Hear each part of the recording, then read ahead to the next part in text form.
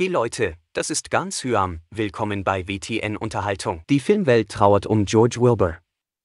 Der Schauspieler war durch seine Darstellung des Killers Michael Myers in den Halloween-Filmen bekannt geworden. Der in Connecticut geborene US-Amerikaner war außerdem als Stuntman tätig. Als solcher war er 40 Jahre lang aktiv und wirkte in über 100 Fernseh- und Filmprojekten mit. Er war außerdem Mitglied der Hollywood Stuntmen's Hall of Fame. Nun ist George mit 81 Jahren verstorben. Georges Stuntman-Kollege Christopher Durant gab die traurige Nachricht auf Facebook bekannt. Er schrieb, George P. Wilbur ist letzte Nacht verstorben.